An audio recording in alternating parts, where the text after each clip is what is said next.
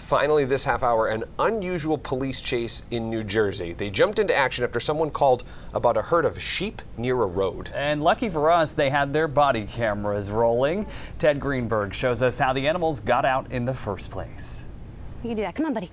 They're safely contained and no longer on the lam. My sheep had got a little too curious. An unusual sight bringing Lower Township police out to busy Breakwater Road Tuesday morning. We got a call from dispatch saying that there was a herd of sheep in their roadway. They're out on Breakwater Road. Oh my God. By the firehouse. The flock of nine belonged to Stephanie Wiscott and her family. Luckily, the sheep did not wander far. You're not allowed to have this grass. Come on. Oh, there they go. Mommy's here. Go, go, go. Officers Patrick Aiken, Kyle Boyle, and Bill Omrod took up the task of herding them back home. They, they cooperated the whole time. Yeah, they, we pretty much just followed them back to make sure they were safe.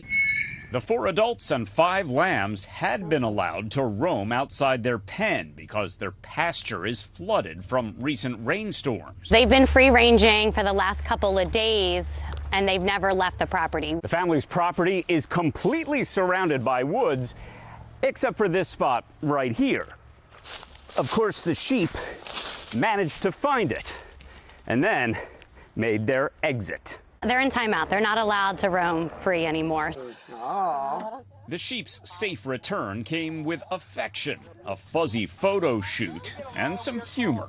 We get a lot of weird calls, and when somebody called 911 and said there's a herd of sheep in the middle of the road, we thought somebody looked at the sun too long yesterday. We were so grateful that somebody along the road on Breakwater, they stopped and tried to keep the sheep out of the road. So Stephanie's kids are homeschooled. The sheep, part of the learning process, their little adventure, leading to a new lesson. We learned that um, we had to watch the sheep outside. We can't just let them go out by themselves. A flock that hightailed it back home thanks to some corralling by the cops.